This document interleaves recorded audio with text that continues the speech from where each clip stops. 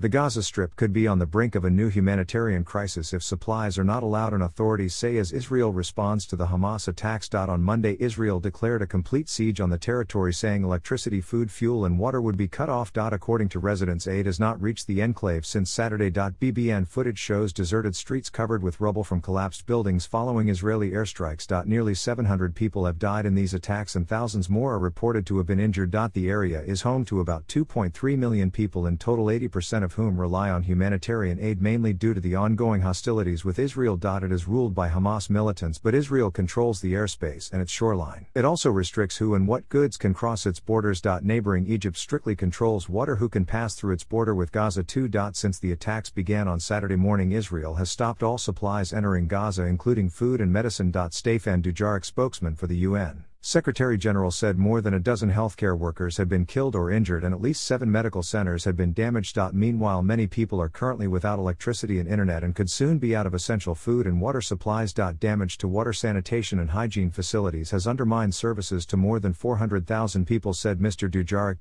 The Gaza power plant is now the only source of electricity and could run out of fuel within days. He added that the World Food Program was already distributing food for up to 100,000 internally displaced Palestinians and that these efforts would increase eightfold in the coming days. Even before the latest restrictions, residents of Gaza already faced widespread food insecurity restrictions on movement and water shortages. Juliette Touma, a spokeswoman for the United Nations Palestinian Refugee Agency, told the BBN people in Gaza were terrified by the current situation and worried for their safety as well as that of their children and families. On Monday, Israel's Defense Minister Yoav Gallant said it would impose a complete siege on the territory. No electricity, no food, no water, no gas, it's all closed, he said, adding that we are fighting animals and are acting acting accordingly. The Israeli infrastructure minister later ordered the immediate cutoff of water supplies to Gaza, saying, What was in the past will no longer be in the future. In a statement released before those announcements, the Palestinian Health Ministry said hospitals were facing a shortage of medicines, medical supplies, and fuel due to Israel's actions. It called on international actors to urge Israel to restart power lines and to supply emergency needs in the form of medicine, fuel, and power generators.